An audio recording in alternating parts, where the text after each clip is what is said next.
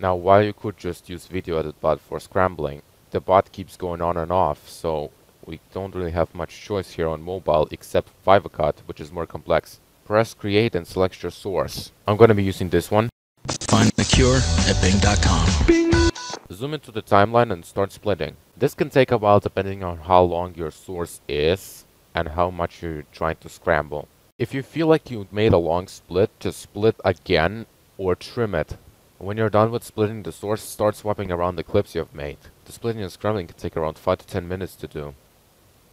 If it looks like it's lagging, don't worry, that's just how it plays back what you've made. It's gonna be fine after you render. So let's render. And let's see the result. But if you feel like the scrambling wasn't effective enough, you can do it again. Press select and now select the video you just rendered. Do the same steps but now split in much smaller capacity, so you can shuffle faster. Again, here's the result. We'll still have to wait for when the bot starts working longer, but for now, VivaCut. I hope this helps.